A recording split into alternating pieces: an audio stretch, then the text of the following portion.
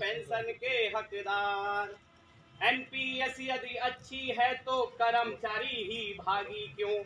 मुखिया सांसद और विधायक बने हुए अपवादी क्यों? एनपीएस यदि अच्छी है तो कर्मचारी ही भागी क्यों? मुखिया सांसद और विधायक बने हुए अपवादी क्यों? हम भी जनता के सेवक क्यों? हम पे अत्याचार। लुटा हुआ महसूस कर रहे हम तो भरे बाज़ार। हमको पेंशन दो सरकार, हम हैं पेंशन के हकदार। लोकतंत्र में राजा को प्रजा की सुननी पड़ती है। प्रजा रहे खुशहाल तभी राजा की जय जय होती है। लोकतंत्र में राजा को प्रजा की सुननी पड़ती है। प्रजा रहे खुशहाल तभी राजा की जय जय होती है। ऐसे कैसे आप ही बोलो होगी जय जयकार। नेता खाए रबड़ी मलाई, हमको चटनी अचार, हमको पेंशन दो सरकार, हम हैं पेंशन के हकदार। आप ही सोचो, हाय बुढ़ापा क्या क्या रूप दिखाएगा।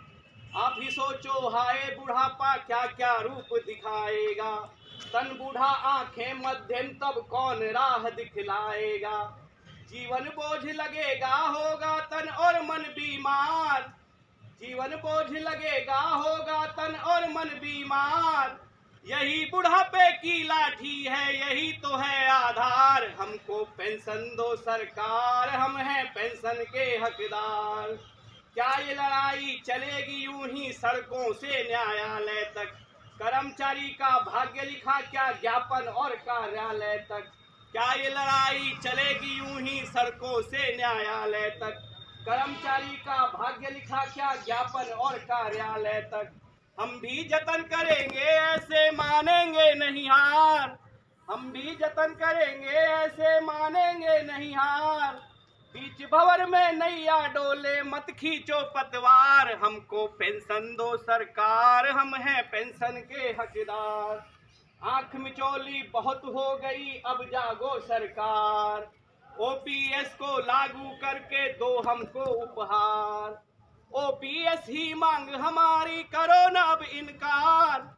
जो गलती हो गई हो गई, अब तो करो सुधार। हमको पेंशन दो सरकार, हम हैं पेंशन के हकदार। मांग रहे हैं बार बार तुमसे अपना अधिकार। हमको पेंशन दो सरकार हम हैं पेंशन के हकदार।